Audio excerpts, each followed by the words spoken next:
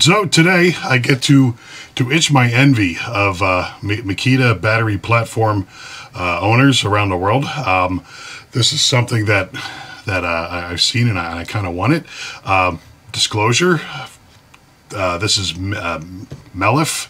I always want to say MILF. Um, the company I did the uh, little review on for the soldering iron, they saw that video and they said, hey, we make other stuff let me send you uh, some stuff for you to check out. Uh, just so you know, my, my rule with that is, is one, it's got to be something you guys would be interested in. Two, something I would use. Three, uh, you, you, don't get a video because you sent me something. If it stinks, I won't make a video, but if it's good, I will make a video. And um, yeah, there's no money exchange. They just sent me this stuff and told me to take a look at it. So, uh, spoiler alert, if you're watching this, I, I probably at least think the stuff that I'm looking at is worth buying disclosure aside. Uh, so anyway, yeah, this is the first thing I got, which is the coffee maker. Um, Mellif 20 volt coffee maker. I think we could do better than that.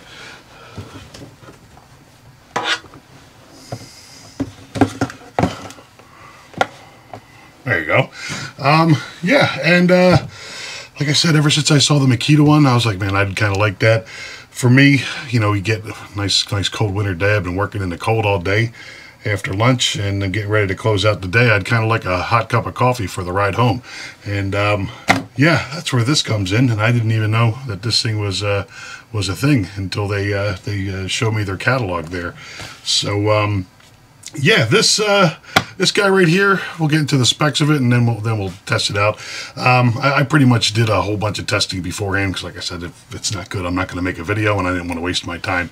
Uh, basically, what you're getting with this is it's a three minute and 30 second cycle time as far as um, when you first turn it on, you hit the button and then the coffee comes squirting out.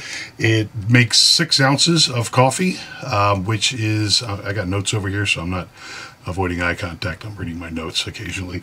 Uh, yeah, it makes six ounces of coffee per cycle, so you're looking at probably around seven minutes to get what I would consider a cup of coffee, which is 12 ounces. Uh, on a six milliamp hour DeWalt battery, the uh, XR, I got one around here somewhere. This guy, you will get uh, five cups from from this battery well five and a half which leads me to it actually does have battery protection. Um, I just kept running cycles through it. Like with any coffee maker you want to run a few uh, dry cycles through it just to get any gunk that might be stuck into the system. So I was just running it and testing it at the same time. And uh, yeah uh, the five five cycles or five cups, I should say.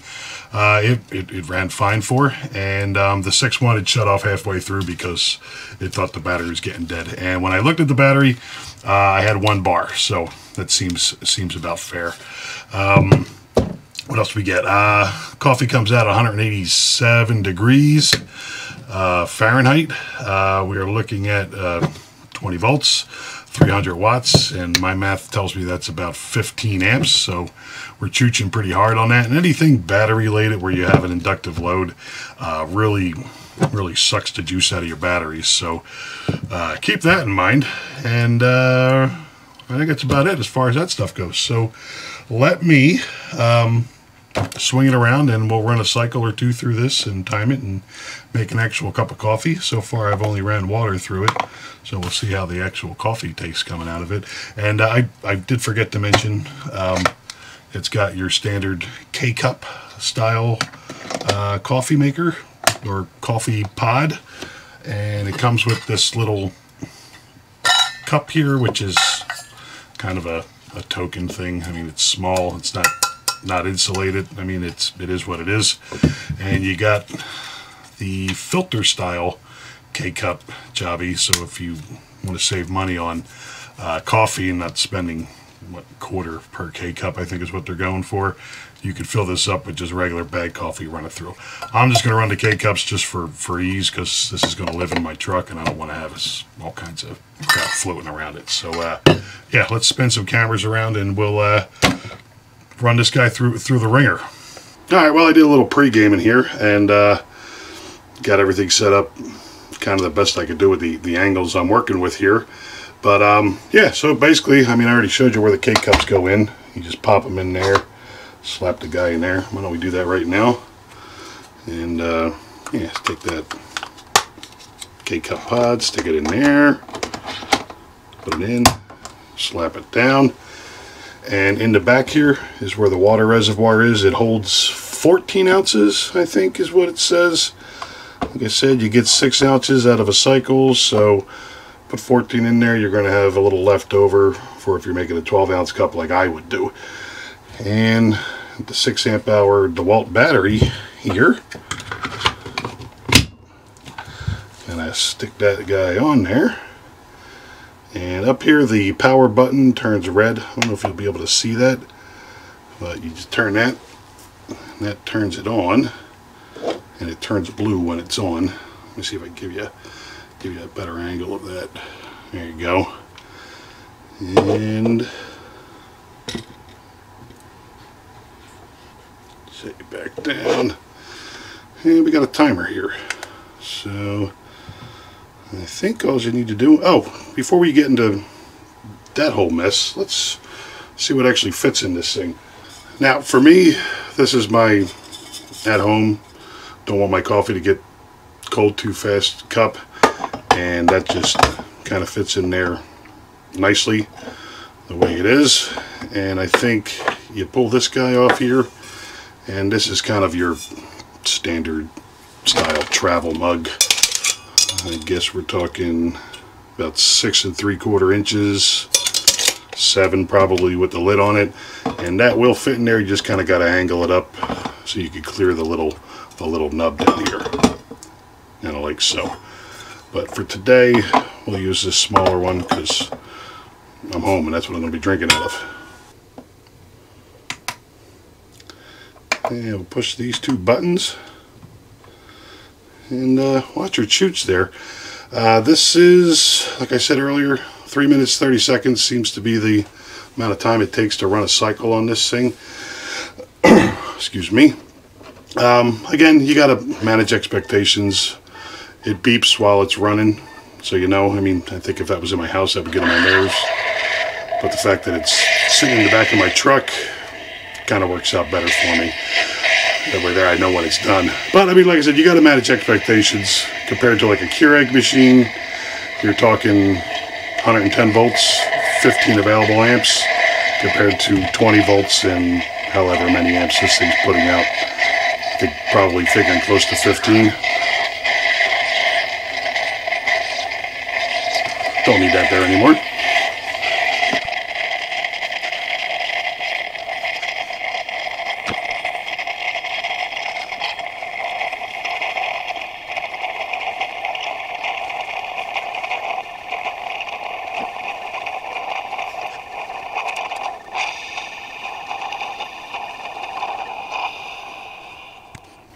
Alright, looks like it stopped uh, bubbling, I guess would be a good description for it. Got ourselves about a half a cup of coffee there. So, um, got enough. Let me check the water. Water looks good for another another cycle, so let's run it through another cycle just for uh, shits and giggles there. Plus, I kind of want a cup of coffee, so get those guys going. Again, with the beeping, we'll run it through Alright, that seems like a full cycle to me. Uh, I got a little meat thermometer here. We can check the temperature.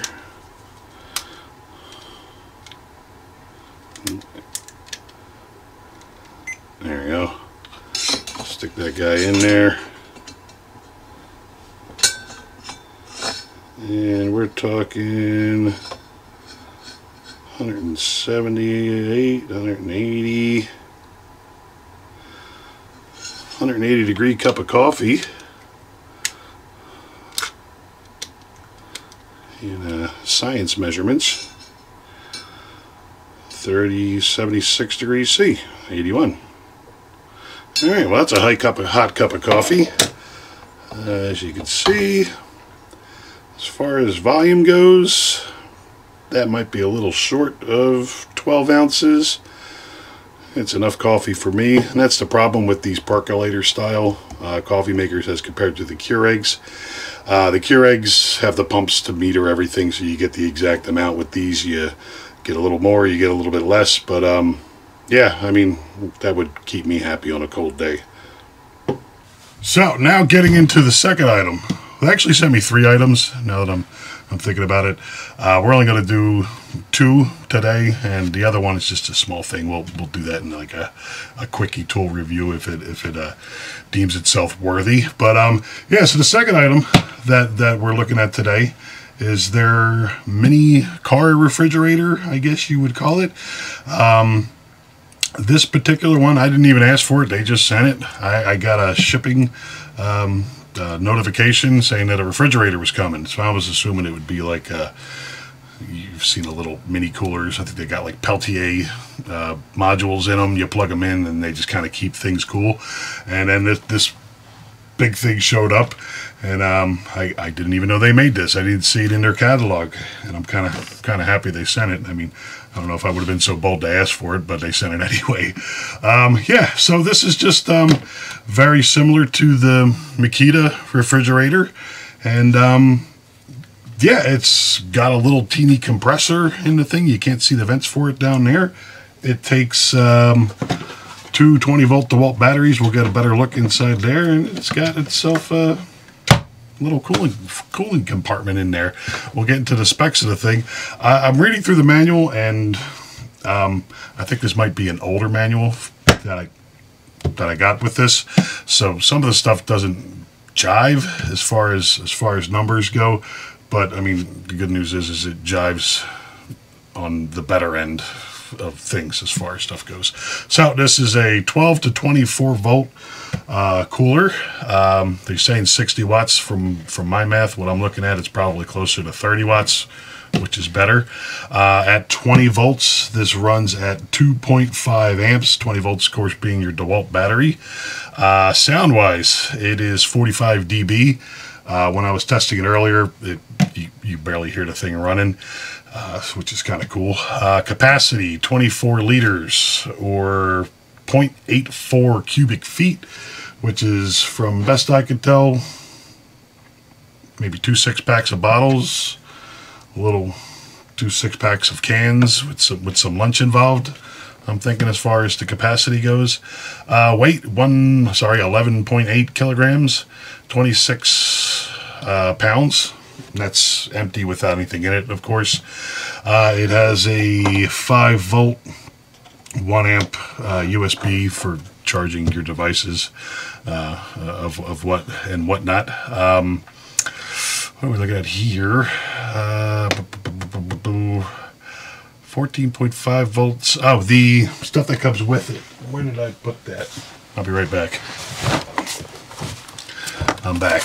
Um, basically you get the thing here and you get an AC power supply which is rated for 14.4 volts at 6 amps which is basic uh, uh, output of your alternator of your car while it's running. You get a cigarette lighter or power adapter. I don't know, they still call them cigarette lighters. I know they don't put cigarette lighters in cars anymore. But you get your basic uh, power adapter, 12 volt, with the plug that would go into the side. And uh, we'll look at that a little bit later. And you get uh, the manual. And manual's pretty good. It, it, goes through everything you, you need to know to get to, to, get the thing to work. I will say that in the manual, they do not, like I said, I think it's an older manual, so it's it's not not the the latest uh, information on this thing. The manual does not talk about the app that's available with this. Um, it has an app that is called. Let me look it up real quick. I'll drop a picture, a screenshot in it. It is the Car Fridge Freezer um, app. You get that on uh, iOS or, or Android. And um, if you are going to use it, I'd recommend the app.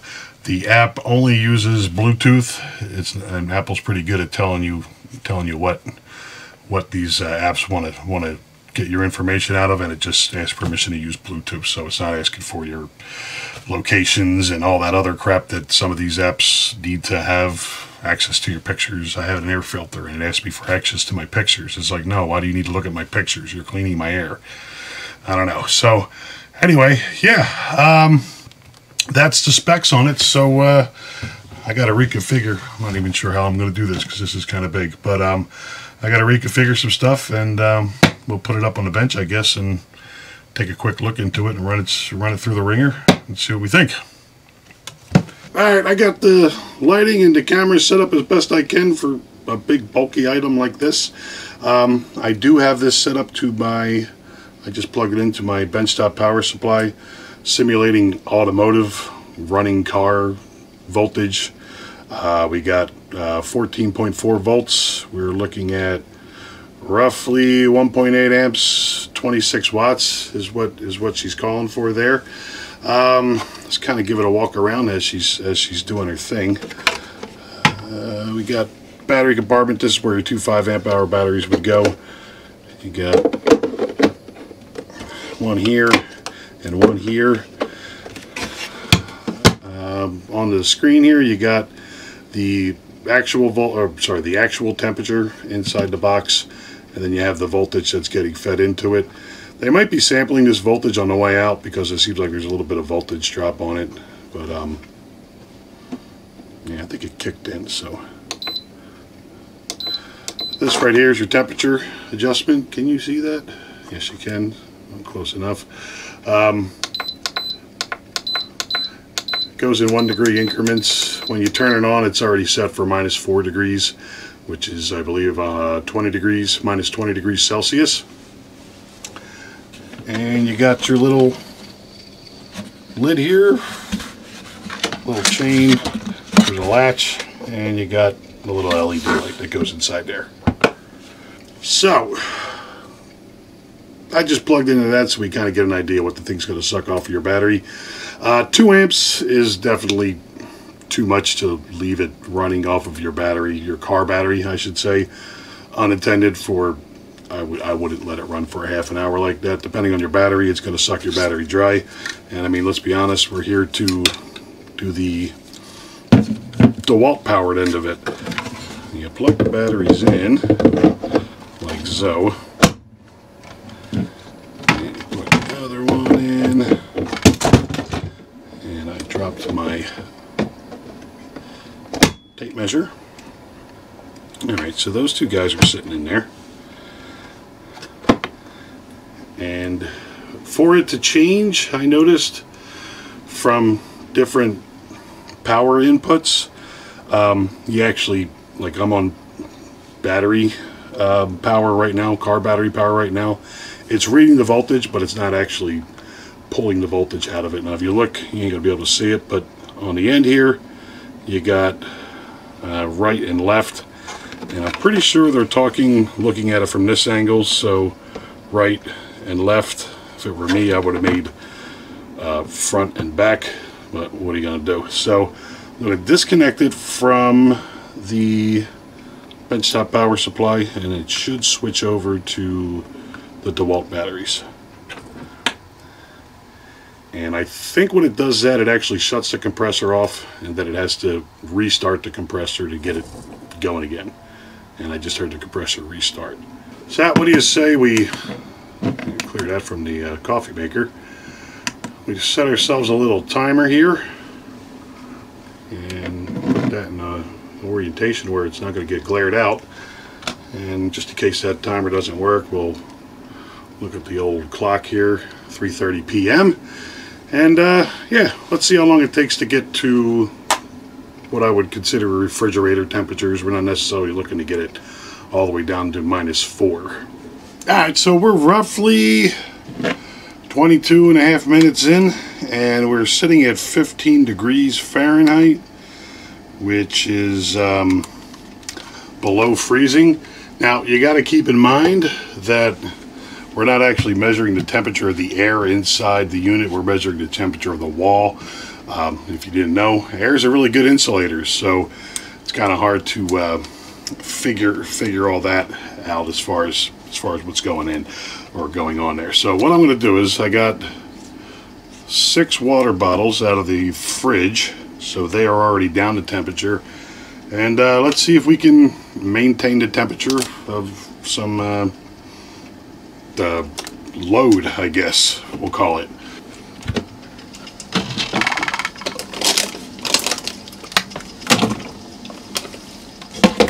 It does feel physically cold in there.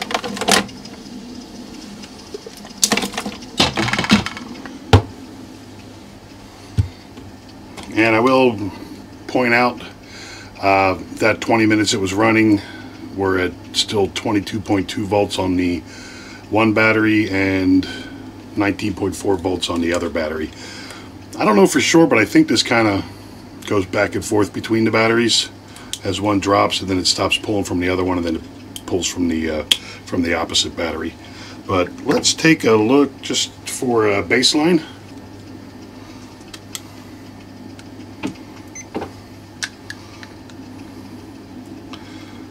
We are at 5 degrees Celsius, 32 degrees Fahrenheit for the water that we're sticking in. I put a black X on it so I could remember which one. And just so you can hear it, I'm going to grab the microphone and kind of stick it down here so you could so you could uh, actually hear what the thing sounds like when it's running. kind of has a little little mild hum to it. So let's stick a thermocouple in there while it's running, kind of not touching anything, just sitting floating in the air. Good? Yeah, that works. Alright. And the air actually inside the unit is reading 37 degrees, which is your refrigerator temperatures. And what we'll do is set ourselves a timer here. And again, let me get my phone. Just in case the timer stops working, we're at 357. So, um, yeah, let's let it run. I got some errands to run. I'm to let it sit here and do its thing for at least an hour, and uh, we'll see if we can actually manage to uh, keep the contents of the uh, refrigerator here to temperature. Probably be a little longer than an hour. We'll see what happens. Well, we are at uh, coming on to roughly an hour and a half. It's 5:23 p.m. And um, I don't think we need this anymore. We got ourselves uh, 16 volts on the one battery, which is the right battery, and that battery I kind of suspected is going bad, so that is what it is. And the other battery we're still chooching along at uh, 20.2 volts. Um, I will take a look. You got the app right here I wanted to bring this up earlier. You have three different levels of, of battery protection. Uh, last time I was playing with this, I ran it at, um, ran these two down, I just let it run until it died. And it shuts off at 15 volts on both batteries. So that, that seems like a fairly safe way to go. And you also have up here would be your uh, temperature control on the inside there. You can get it to do its thing. Oh, you got to do it down here. I'm an idiot. And you can change the temperature that way. And now it just shows you that, that I did do something there. And uh, yeah, and pretty much all the rest of the controls. Like I said, they, as far as controlling the thing, the, the app's kind of nice to, to uh, do all that with. Now, as far as internal um, temperatures go, uh, this is reading 5 degrees Fahrenheit and the uh, thermocouple inside the uh, inside the unit there we're reading about 11 degrees I ran this at full throttle just to you know kind of get a better idea what's going on here and I don't know if I mentioned it but you can actually hot swap these batteries if you want to think that's the one I just pulled out, which was the 15.5. And like I said, this is the one I'm suspecting is being bad. Actually, no, I pulled out the, the good one. Pop that back in. Yeah, this is the one I was suspecting is being bad. And as you can see, it's got a black X on it because I was thinking that it might have been a problem. But we'll leave that out because I'm going to charge that anyway. And I just hit the camera. So let's get this out of the way.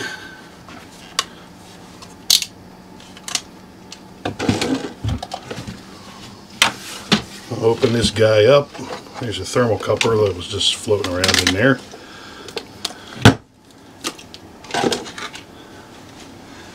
If I remember correctly, we started off with this bottle of water being 30 degrees as far as this thermometer was reading. And let's see if we drop the temperature any.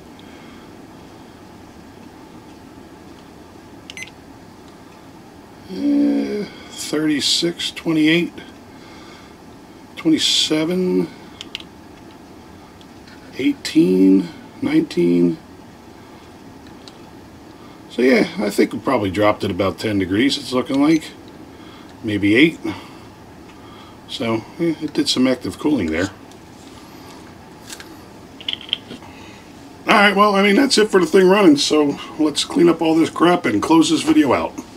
Alright, well, that was a, a mouthful of a video. It's still warm. I made this like four hours ago. I love these vacuum insulated cups. But, um, yeah, so, um, here we go. That's my breakfast and lunch by, uh, uh, Mellif is the uh, company name. I still see MILF, but or Mill, Mill, I don't know. Well, anyway, um, coffee maker. Uh, it makes coffee. Uh, if you can get past the limitations of a um, lithium ion 20 volt battery, that just kind of makes it take a little bit longer. Um, yeah, I can't see how you'd go wrong with that. I can say, like I said earlier in the video, that you know, it's afternoon, I've been in the cold all day, and I could use a cup of coffee, and I don't feel like driving to your regular places to get coffee. Let that thing run while I'm working, get a nice, uh, get a nice stomach full of warm coffee to get me through the rest of the day. I like it. Maybe it's just me. Um, the cooler, uh, I will say, uh, it seems to work pretty good. The uh, limitations with this is just it's it's a refrigerator. You can't think of it like you would like an ice cooler, where you you know you go to the beer store, get your beer, get a five pound bag of ice, drop the ice in the thing, and fill it up. Fill your fill your beers in there, and an hour and a half later, your beers are cold. Um, like I said, air is a a really good insulator, so it's kind of hard to transfer it. So I think the way I would use this if I was going on like a road trip or fishing or some, something like that, uh, in the morning when I would get up, I'd plug it into the wall outlet, get it down to temperature, put products in it out of the refrigerator that are already cold, transfer it out to my transfer it out to my truck, plug it into the old cigarette lighter there, let it run while I'm traveling when I get there, put the batteries in it, and then let it do its thing throughout the day, and uh, keep my keep my food items cold. It seems like that would be a pretty a pretty good uh, good way to use it.